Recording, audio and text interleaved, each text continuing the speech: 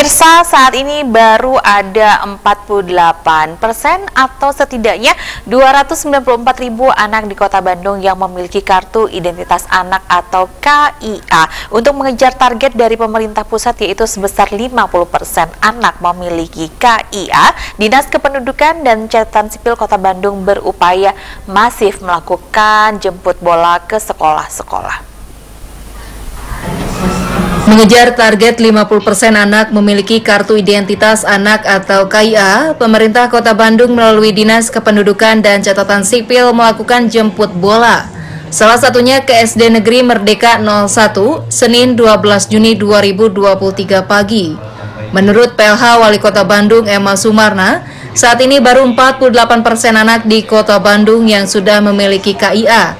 Karenanya, Selain jemput bola ke sekolah-sekolah, dirinya pun meminta agar Disduk Capil bekerja sama dengan klinik ataupun rumah sakit bersalin supaya anak yang baru dilahirkan pun langsung bisa memiliki KIA.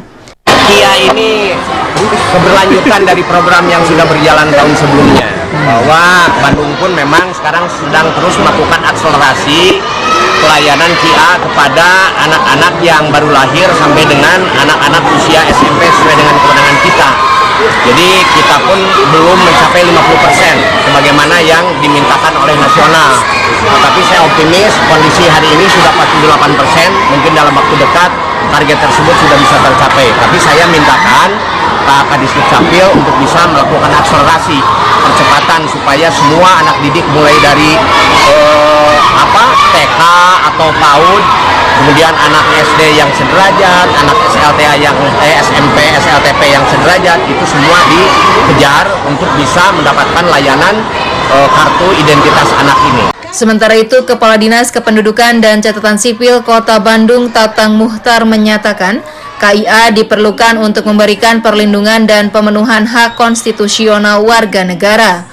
Untuk memenuhi target 50% atau setidaknya 642.854 anak di kota Bandung memiliki KIA, pihaknya masif melakukan pelayanan tak hanya di Disduk Capil dan beberapa gerai yang ada, tapi juga jemput bola ke berbagai SD, SMP, dan sekolah tingkat PAUD. Eh, tadi Pak Pela sudah menyampaikan bahwa untuk target kita memang di tahun ini sesuai dengan target nasional 50% dan untuk kota Bandung itu baru 48% sehingga kita e, melakukan masif untuk e, pelayanan sekaligus e, apa pembuatan kartu identitas anak ini tidak cukup dengan hanya tempat-tempat layanan di Capil yang ada tapi kita menyelenggarakan program jemput bola seperti e, ini.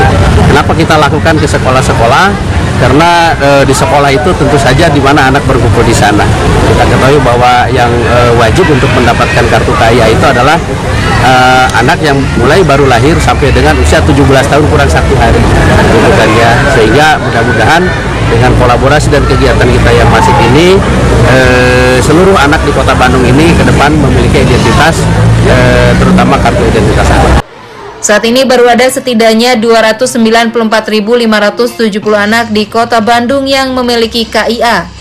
Kartu identitas anak tersebut diperuntukkan bagi anak yang baru lahir hingga usia sebelum 17 tahun. Budi Hartati, Bandung TV